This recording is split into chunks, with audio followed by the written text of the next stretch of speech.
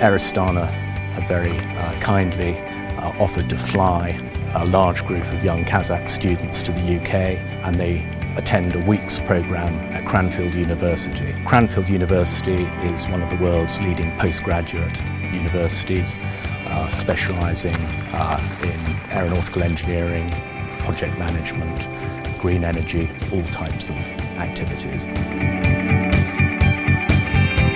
Бұл байқаудың ең негізгі мақсаттарының бірі деп айтамыз ба жоғарғы сынып оқушыларының мамандық таңдауда тек қана гуманитарлық сабақтардан ғана емес көбіне көп техникалық саласына көңіл бөле отырып техникалық вуздарға түссе деген ойымыз бар Конкурсы и проекты в транспортной отрасли очень важны для авиакомпании, потому что мы хотим привлечь молодых, талантливых людей, заинтересованных в авиации.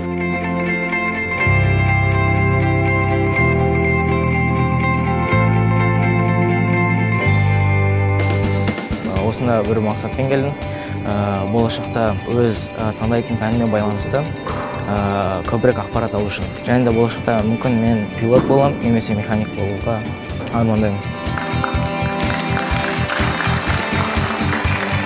С каждым днем все мечты сбываются, и просто нужно верить в себя, делать все возможное ради своего будущего. And it was a fantastic success. being able to take the students from here, from all the regions in Kazakhstan, across to Cranfield and see them develop.